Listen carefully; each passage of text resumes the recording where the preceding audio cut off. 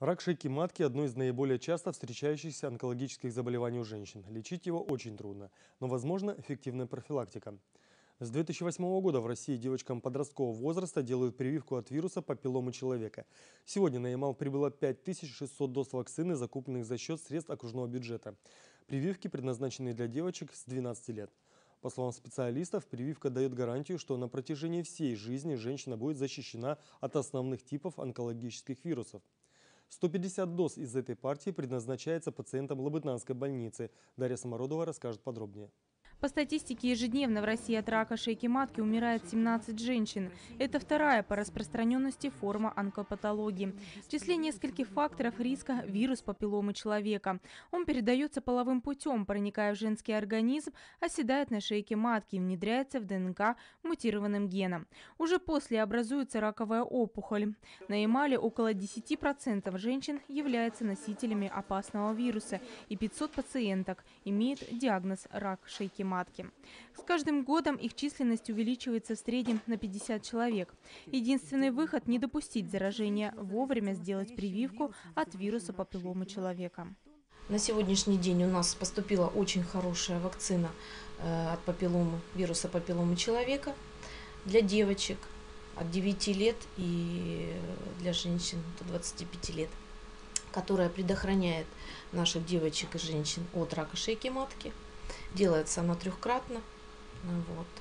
Поэтому очень рекомендую привить своих девочек. Вакцина показана девочкам, которые уже вступили в период репродуктивного развития, но еще не начали вести половую жизнь. В среднем начиная с 11-12 лет. Вакцина не содержит вируса, а значит безвредна. Главное соблюсти правильную схему вакцинации. Прививка ставится в три этапа – через месяц и полгода после первого укола. Вакцина очень эффективна, а, несмотря на то, что в интернете муссируются разные слухи и разные э, мнения можно встретить, тем не менее мировая медицинская общественность настаивает на том, чтобы девочек прививали. Отдельные страны а, прививают этой вакциной уже и мальчиков, поскольку именно мальчики являются, как правило, э, источниками э, такой опасности для девочек. В Лабытнанге поступило 150 доз вакцины Церварикс. Этого хватит, чтобы привить 50 девочек. Прививка будет делаться бесплатно, хотя, по словам медиков, сегодня стоимость такого препарата составляет порядка 20 тысяч рублей на человека. Если в этот раз количество желающих привить ребенка будет достаточным, в будущем вполне возможно увеличение квоты для нашего города. На сегодняшний день 6 человек уже получили первую дозу вакцины. Врачи-педиатры ждут своих маленьких пациентов вместе с мамами и папами на прием в детской поликлинике. Прививка ставится только согласие родителей или законных представителей.